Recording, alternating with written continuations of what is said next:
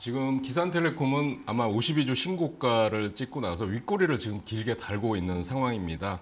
아, 기산텔레콤은 이제 통신 장비 제조업, 또 위성 통신기기 제조업, 그다음에 통신 장비 및 부품 수출입업, 뭐 전기전자 통신 엔지니어링 뭐 이런 쪽을 영위하고 있는데 이동통신 중계기와 와이파이 AP 또 이런 쪽 그의 어, 그 업무를 하고 있는 상황입니다. 그런데 보시면 어, 최근에 중계 장비 전문 업체인 동시에 무인 항공기 기술을 보유하고 있어서 자회사 모피언스를 통해서 국내에서 유일하게 항공 항행 안전 무선 사업 핵심 기술인 어, DVOR 장치를 자체 개발해서 어, 도심 항공 mobility라고 하는 UAM 어, 사업의 핵심주로 분류가 되고 있습니다. 그래서 정부에서 이제 에어 택시를 상용화하겠다 이런 얘기가 나오고 또 현대차 쪽에서 영국의 모빌리티 기업인 Urban Airport 지분 투자한다. 그래서 UAM 관련 이슈가 부각될 때마다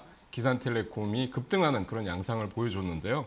또 지금 한편으로는 기산텔레콤이 또 방산주로도 분류가 되고 있습니다. 그래서 어, 최근에 그 어, 미국의 그 여러 정보기관들의 분석에 의하면 북한이 이제 지하 핵실험장 또 터널 굴착을 재개했다 이런 뉴스가 나오면서 오늘 어, 방산주들이 일부 방산주들이 강세를 보이고 있는데요.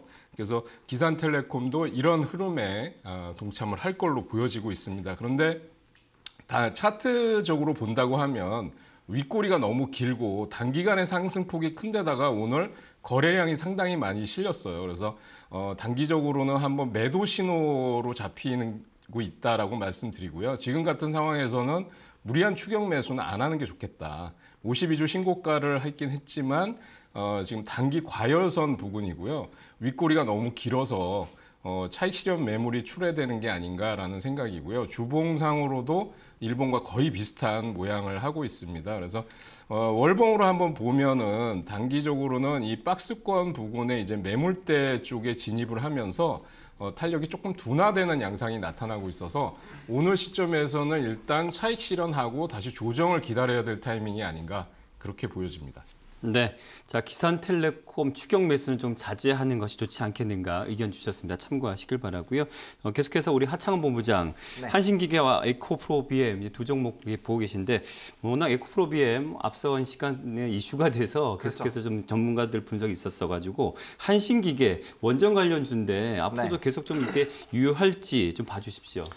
네, 일단은 뭐 시간상 짧게 좀 말씀을 드리면요. 네. 일단 친환경에 대한 이런 탈원전에 대한 기조가 유지가 되고 있습니다. 그래서 친원전에 대한 움직임이 나타나고 있고 이번 공약에서 사실 정권에서 제일 기대가 되는 게 이제 건설업과 원전이지 않을까라고 보고 있습니다. 그리고 고유가 흐름이 유지가 되고 있는 상황들이 유지가 되고 있고 아무래도 전 세계적으로 이제 이 에너지 무기화에 따른 어 이런 기조로 원전의 흐름들이 국내에서 지금 굉장히 활발하게 일어나고 있기 때문에 때문에 어, 좀 지속적으로 관심을 가져야 되지 않을까라고 보고 있고요.